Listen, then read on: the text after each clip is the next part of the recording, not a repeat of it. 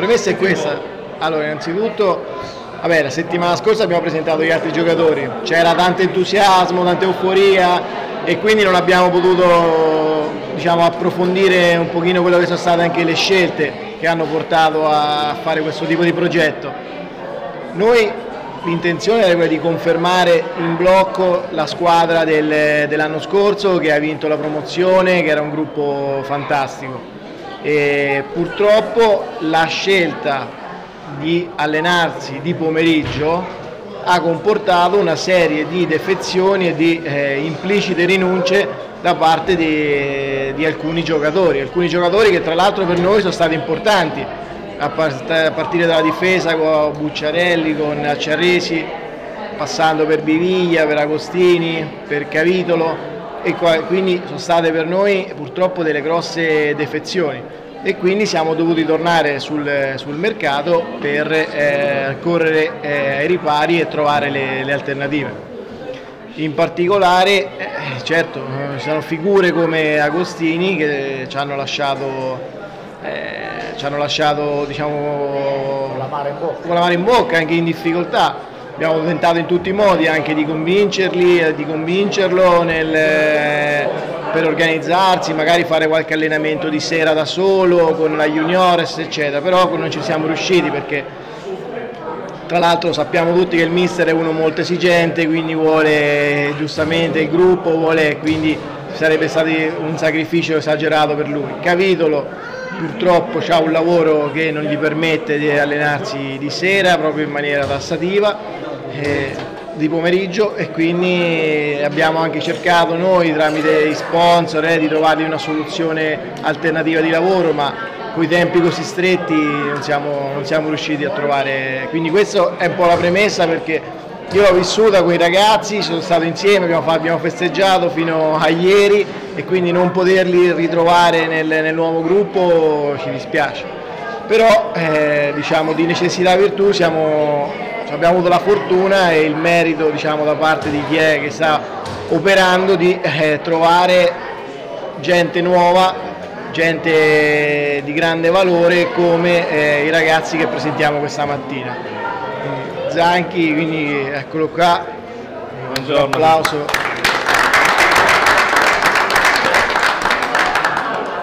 L'anno scorso stava a Bastia, quindi sappiamo quello, quello che ha fatto, giocatore di grande esperienza, difensore centrale, io cioè, credo averci anche giocato contro, quindi me lo ricordo come un tipo molto tosto e, e rognoso e credo che eh, sia l'elemento importante anche di, di spessore, eh, di esperienza più che altro per, per questa categoria e per eh, il Foligno.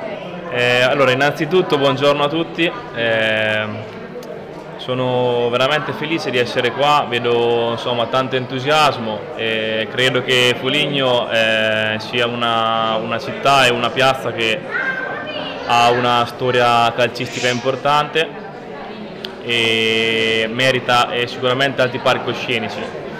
Eh, parlando col Presidente ho visto già da, da, insomma, da, dai primi istanti che è una persona seria, che c'è un bel progetto dietro e ehm, io mi auguro che ritorni l'entusiasmo che eh, mi ricordo a Fuligno tanti anni fa, ehm, perché comunque eh, si merita questo. Eh, io spero di fare un gran bel campionato qua ehm, e spero insomma, di ripagare al meglio la fiducia che mi ha dato la società e che mi daranno anche i tifosi. Eh, sicuramente, ecco, come diceva anche il Presidente, nell'arco dell'anno ci saranno dei, dei, momenti di difficoltà perché vincere non è mai facile. E per noi è importante che in quei momenti la, la società come i tifosi ci stiano vicini. Eh, perché comunque eh, durante un anno capita di avere un momento di difficoltà e noi bisogna essere forti, bisogna cercare di andare avanti e, e di raggiungere l'obiettivo che, che, che, ci siamo prefissati a inizio anno.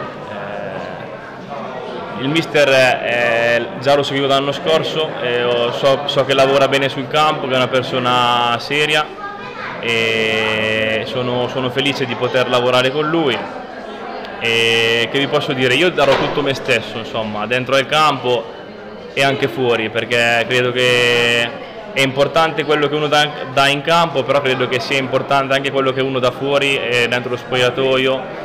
Eh, perché ecco, siamo in una categoria che eh, è vero conta insomma, la tattica, contano gli allenamenti, contano tante cose ma conta anche insomma, il gruppo che c'è eh, fuori dal campo, quello, quello, forse fa la differenza in queste categorie, poi magari salendo è un po' più diverso, no? però in queste categorie se c'è un buon gruppo eh, credo che alla lunga eh, faccia la differenza. Eh, poi avrò modo di conoscere i miei compagni di squadra, già oggi ho conosciuto lui e niente. Gli altri conosci qualcun altro? Sì, conosco Gorini, è vent'anni che sono giocato insieme e sono due, due ottimi ragazzi. Eh?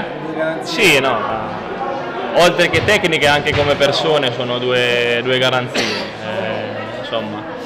E niente, non vedo l'ora di iniziare questa avventura e basta. Emiliano io ci ho giocato insieme in, eh, sostanzialmente in prima categoria. Hai giocato con tutti? Quindi, quindi, quindi, è un rapporto che nasce ormai da 5-6 anni fa e ha fatto gol, tanti gol in prima categoria, ha fatto gol tanti in promozione e quindi secondo me quest'anno è una bella sfida che lui si deve no, prefiggere per farli anche in, in eccellenza.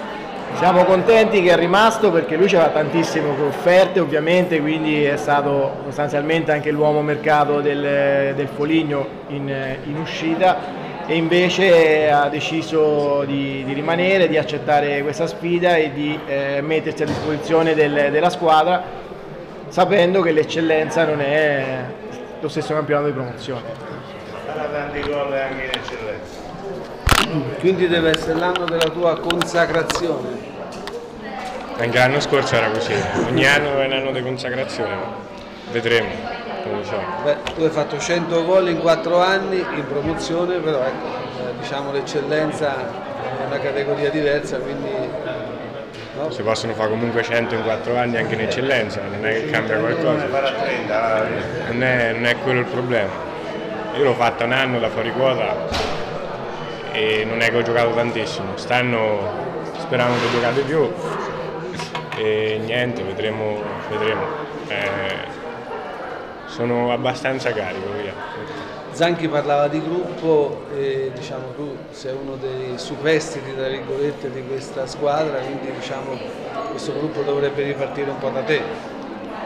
Più che da me penso dal capitano, che è quello con più esperienza dispiace il fatto che la maggior parte dei ragazzi ha lasciato la squadra, però fa, fa parte del calcio, cioè, per quanto riguarda me sono amico anche fuori dal campo con loro perché anche l'altro giorno siamo stati a cena tutti insieme, a dimostrazione del fatto che l'anno scorso c'era un gran bel gruppo.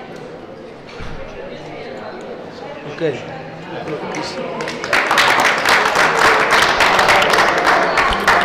Io posso dire solamente che la società scorso, del, per quanto riguarda lo scorso anno ha chiuso il bilancio in pareggio, perciò questo credo che sia la cosa più importante e non è stata un'annata a risparmio perché abbiamo fatto quando si vince si vince perché se uno è più forte, per essere più forte deve prendere i migliori. Ecco, e pertanto abbiamo preso diciamo, quello che di meglio c'era, perciò è stato un anno impegnativo siamo riusciti a chiudere il pareggio, la cosa importante è quella di sensibilizzare ancora più la città e gli imprenditori della città che ci possano dare una mano anche con questa nuova impostazione che stiamo dando eh, con l'azionariato popolare o comunque sia con una parte di quote a disposizione di, a disposizione di tutti, vediamo di coinvolgere più persone possibili, poi come ha detto prima Zanchi, vincere non è mai facile perché gli altri non è che stanno a far presenza, perciò voglio dire, abbiamo, stiamo cercando di allestire una squadra degna del nome di Foligno per cercare di essere lì fra quelli che, fra quelli che competono per, per, poi non è detto che le scelte siano, terminano con il mercato eh, attuale, magari si può fare qualche correzione, dipende dove uno sta, dove uno sta, però l'essenziale è che noi guardiamo l'obiettivo, che è quello che ci siamo dati insieme con quei 4-5 che abbiamo iniziato il discorso, io poi c'entro anche poco, diciamo, ho iniziato un discorso di, di, di collage fra tutte le persone, però è quello di dire bisogna fare il passo secondo la gamba perché sennò altrimenti perdiamo di vista quello che è l'obiettivo primario, quello di tenere in piedi una società sana. Poi dopo se per passare di categoria o per fare qualche altro passaggio bisogna aspettare un anno, due anni, questo non è importante, l'essenziale è che chi ora che ci siamo noi e chi verrà dopo di noi trovi una società sana dove poter lavorare tranquillamente senza patemi d'animo, senza andare incontro a situazioni che già conosciamo e che non vogliamo più conoscere. Perciò ecco, per me l'importante è questo. Poi dopo Ginai eh, invece di 31 gol ne farà 29, ma credo che cambi, che cambi poco. Lui i gol ha sempre fatti, perciò credo che uno abituato a segnare... Bastano anche 25. Esatto, segna sempre. Ecco, perciò voglio dire, l'importante è però avere una società ben piantata in terra, sana e con, eh, con tutti i presupposti per, essere, per guardare avanti con fiducia.